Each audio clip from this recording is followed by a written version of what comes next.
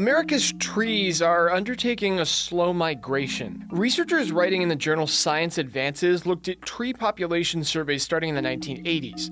What they found is that the trees in eastern America are moving north and west. Specifically, conifer trees like pines are moving north, and deciduous trees like maples and elms are moving west. Don't worry, the forest isn't full of Ents.